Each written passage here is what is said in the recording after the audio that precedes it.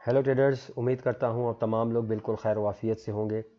Trading world channel में खुश आमदीद ट्रेडर्स अगर आप न्यू हैं इस चैनल पे तो आपसे मेरी सबसे पहले रिक्वेस्ट होगी कि चैनल को सब्सक्राइब करें और साथ साथ बेल के आइकन को ज़रूर प्रेस करें ताकि आपको फॉरेक्स से रिलेटेड जितनी भी न्यूज़ है या अपडेट है वो वक्त पर मिल सके। इसके साथ साथ ट्रेडर्स मैंने लाइव सेशन का भी सिलसिला शुरू किया है। तो जिसमें जो बिगिनर्स हैं और फॉरेक्स सीखना चाहते हैं तो वो मुझसे कांटेक्ट कर सकते हैं। व्हाट्सएप नंबर जो है वो मैं डिस्क्रिप्शन में दे दूँगा। तो वहाँ पर जाके जो भी इंफॉर्मेशन है कोर्स से रिलेटेड वो मुझसे रबता कर सकते हैं। तो चलिए ट्रेडर्स हम बात कर लेते हैं। आज G P P U S T के ऊपर मैं एनालिसिस करूँगा।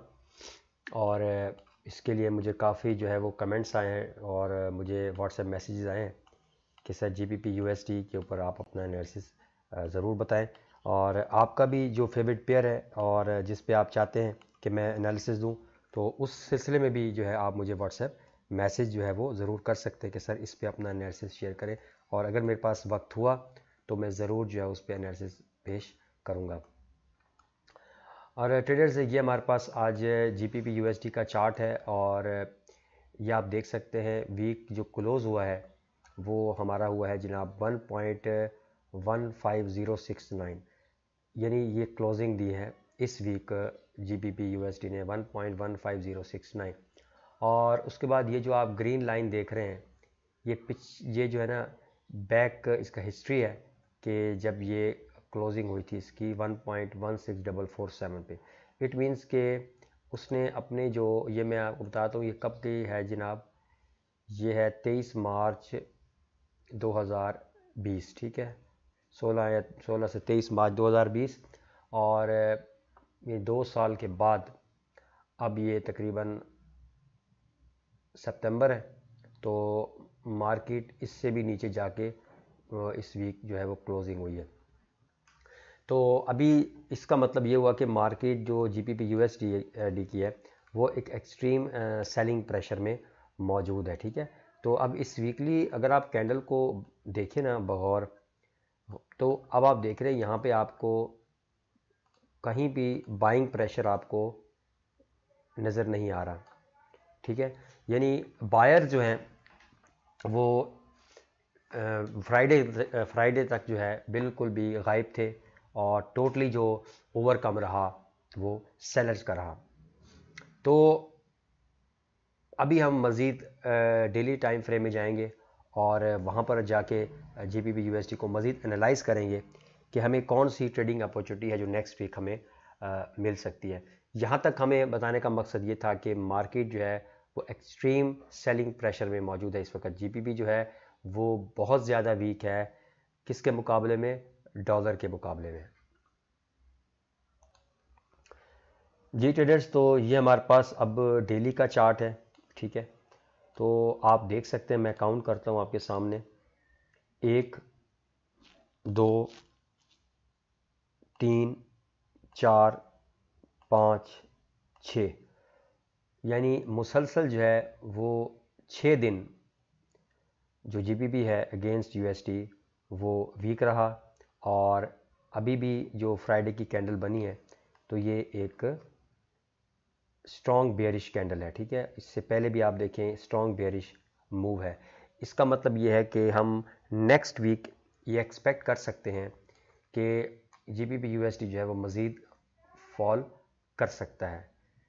तो अब वीकली से भी हमने यही अंदाज़ा लगाया कि जी पी जो है वो यू एस टी के अगेंस्ट काफ़ी वीक है और हमने, अगर हम डेली की बात करें तो यहाँ पर भी हमने यही अंदाज़ा लगाया कि नेक्स्ट वीक हम यही एक्सपेक्ट कर सकते हैं कि मार्केट जो है वो काफ़ी जो है यहाँ पर वीक है।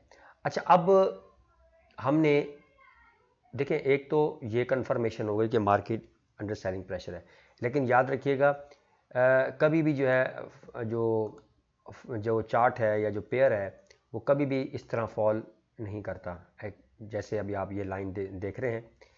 तो मार्केट जो है, जब फॉल करती है कुछ स्ट्रक्चर बनाती है तो ये एक इम्पल्सिव और फिर रिट्रेस करती है थोड़ा सा फिर एक इम्पल्सिव मूव बनाती है, फिर रिट्रेस करती है, फिर एक इम्पल्सिव मूव बनाती है।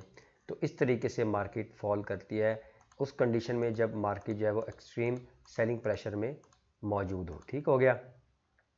तो अब मार्केट कितना रिट्रेस कर सकती है तो वहाँ पर हम फिबोनाची लेवल ड्रॉ करेंगे। ठीक है? तो यहाँ से मैं ये सिलेक्ट करता हूँ फिबोनाची रिट्रेसमेंट ठीक है? और ये आप देख रहे हैं हाई पिछला। तो यहाँ पर मैं अगर ड्रॉ करता हूँ फॉर एग्जांपल वैसे अभी भी मार्केट सेलिंग में ही है, लेकिन हम अगर रिट्रेस करती भी है तो इसमें मैं ये लेवल लगा लेता हूँ हॉर्जेंटल लाइन इस लेवल पे। तो इसको मैं अब डिलीट कर देता हूँ। ये 61.8 का रिट्रेसमेंट लेवल है और आप ये देख रहे हैं कि ये बैक टेस्ट करें तो ये हमारे पास इसकी एक सपोर्ट भी बनती है, ठीक है? ये एक स्ट्रॉन्ग सपोर्ट है, यहाँ पर भी मार्केट ये देखें काफ़ी सपोर्ट ले रही है। तो खैर, ये लेवल तो अभी काफ़ी दूर है, ये मार्केट इस लेवल तक आए।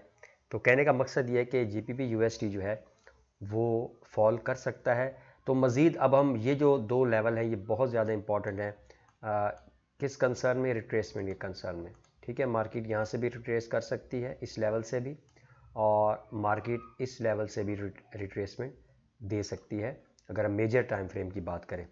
तो अभी हमने, क्योंकि नेक्स्ट वीक की बात कर रहे हैं मंडे ट्यूसडे वेडनेसडे हम कौन सी ऐसी ट्रेडिंग अपॉर्चुनिटी है जो हम इसमें हम फाइंड कर सकते हैं। तो उसके लिए डेफिनेटली हम जो हमारा फेवरेट टाइम फ्रेम है फोर आवर का, उस पर जाएँगे।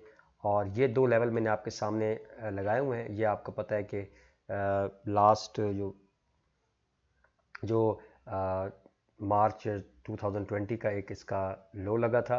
और ये उससे पिछला है जो लेवल है जो कि अभी हमने आपके सामने लगाया है एक रेजिस्टेंस लेवल तो ये दो लेवल जे पी पी के लिए मोस्ट इंपॉर्टेंट लेवल रहेंगे ठीक है? तो अभी जो है उसके साथ साथ मैं अभी एक ट्रेंड लाइन भी ड्रॉ करूँगा आपके सामने। तो ये तरीका होता है चार्ट को एनालाइज करने का। तो आपको इसमें सीखने को भी बहुत कुछ मिलेगा कि हमने किस तरीके से लेवल ड्रॉ करने होते हैं, ठीक है? हम कैसे एनालाइज करते हैं। तो एक तो ये ट्रेंड लाइन लग गई, ठीक है? तो अब आपने, आपके पास ट्रेडिंग स्ट्रेटजी क्या होगी कि ये आप देख रहे हैं, ये पिछला जो, ये ग्रीन लाइन है जो कि लेवल बनता है one point one six double four seven, यहाँ पर आपने एक ट्रेडिंग जोन क्रिएट करना है, रेजिस्टेंस जोन जिसे आप कह सकते हैं। ठीक है, ये वाला। तो अब आपने इस लेवल का जो है वो वेट करना है, ठीक है? मंडे के दिन की मैं आपको ट्रेडिंग अपॉर्चुनिटी बता रहा हूँ। और फ़र्स्ट आपका ये लेवल हो जाएगा और सेकंड आपका हो जाएगा।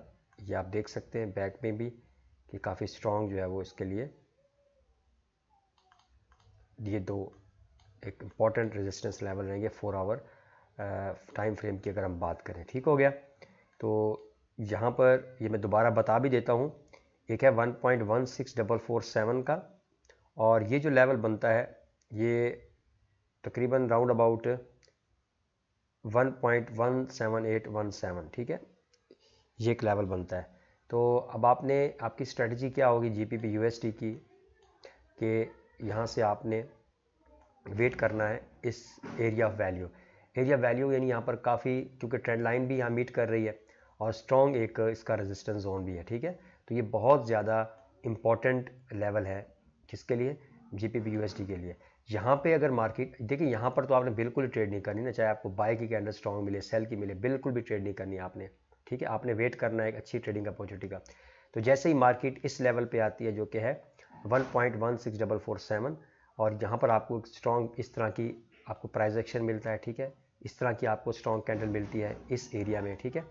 तो ये आपके लिए बहुत अच्छी ट्रेडिंग अपॉर्चुनिटी इस, ये जो पिछला आप देख रहे हैं, इससे ऊपर आप अपना स्टॉप लॉस रख लें और आप वन टू यहाँ पर टू रेशो के भी आप टारगेट हासिल कर सकते हैं। तो आपने, उम्मीद है आपको ये समझ आ गया होगा लेवल कि यहाँ पर जैसे मार्केट आती है, उसके बाद आपको स्ट्रॉन्ग बेयरिश कैंडल मिलती है तो यहाँ से आप सेलिंग कर सकते हैं। स्ट्रॉन्ग बेयरिश कैंडल बननी चाहिए फोर आवर में, ठीक है? और वन टू टू रेशो का जो है वो आपके पास रिस्क रिवार्ड आप इसमें रख सकते हैं। तो ये थी ट्रेडिंग अपॉर्चुनिटी और काफ़ी ये स्ट्रॉन्ग और अच्छा लेवल है ट्रेड करने के लिए G P P U S T में। तो उम्मीद है आपको वीडियो पसंद आई होगी। तो वीडियो को लाइक करें। न्यू है तो चैनल को ज़रूर सब्सक्राइब करें। मिलते हैं इन नेक्स्ट वीडियो में। तब तक के लिए अल्लाह हाफिज़।